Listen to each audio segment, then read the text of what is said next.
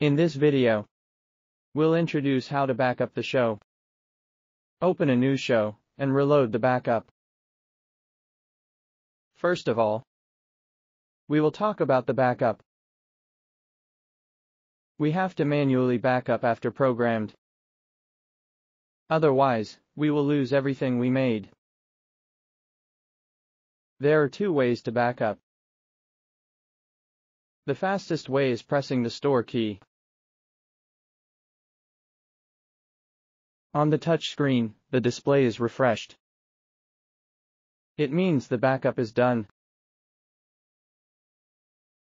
Another way is pressing backup key to enter the backup menu.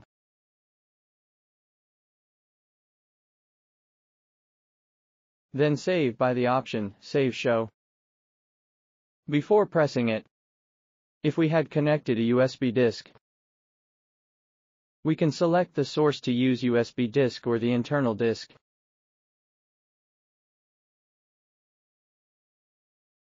For example, I want to save the show to the USB disk.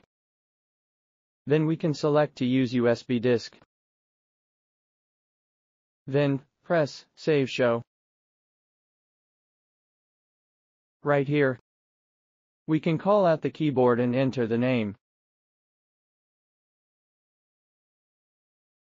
For example I input, name 1. Enter. Then confirm.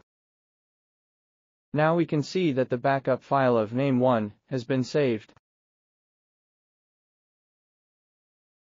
No matter which way we use for backup, one of these four default underscore show files in internal disk will be updated, and they will be updated by turns.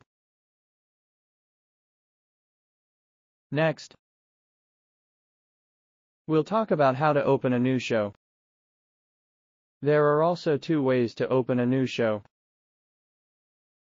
The first way, we can enter the backup menu.